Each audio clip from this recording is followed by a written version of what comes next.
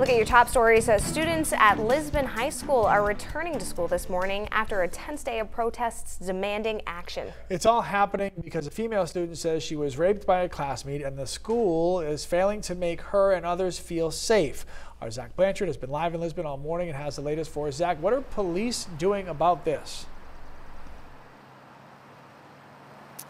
Good morning, Lee and Jess. Yeah, they uh, say they are investigating the claims, but other than that, they're not saying much else uh, surrounding these allegations. Now, the scene here at the Lisbon High School, much quieter than it was just yesterday when at least 75 students were gathered here in protest to demand the school do more. But here's what we know so far. It all started from a Facebook post by 18-year-old Kirsten Kolesnik, who took to the social media app describing what happened, she says happened to her, saying she was raped in her car in the school school's parking lot by a classmate last month.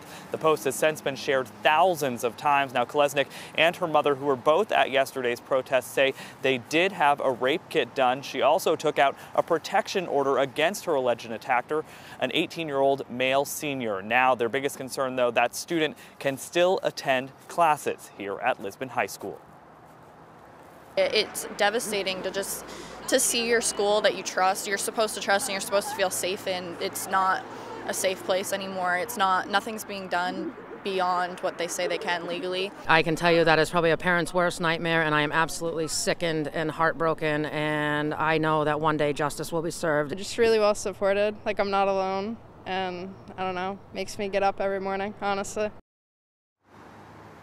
Now, Lisbon School Superintendent Richard Green released a statement saying, in part, we are deeply concerned and aware of the allegations that have been posted on social media. Please be assured that student safety is our top priority, and we have and will continue to work closely with the Lisbon Police Department throughout this active investigation. Now, Kolesnik did file a police report, but as of right now, no charges have been pressed. Of course, if you need help and you know someone or you yourself have been impacted by sexual assault, there are resources right here in Maine that number and website at the bottom of your screen. Lee and Jess. Thank you, Zach Blanchard, live in Lisbon this morning.